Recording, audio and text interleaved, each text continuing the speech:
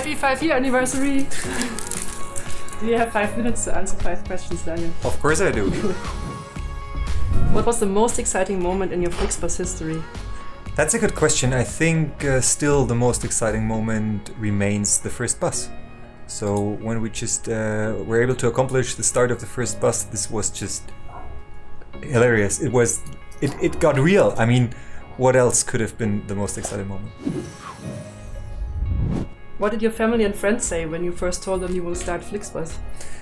They actually asked me uh, whether I'm crazy or no. I mean, we all had jobs already and it was all settled, and we just uh, came across with uh, a bus company with not even owning buses. It was just like, seriously, is that guy crazy right now?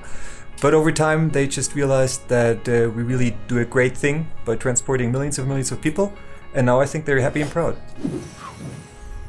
Which country would you love to see full of green buses? Well, I'm going to Japan on vacation this year, so uh, let's see whether they have green buses already or if there is a good demand. So I think Japan uh, would be very impressive if there are green buses running as well. And what would you have said um, if someone told you in the first year of Flixbus, hey, in five years you're gonna be in the US?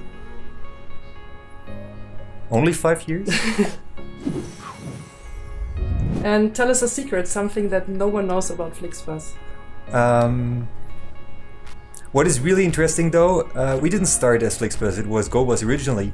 And it was only a lucky coincidence that we ended up as Flixbus because the second shot was Pegabus, like Pegasus as a bus. And to be frank, well, Flixbus works much better though.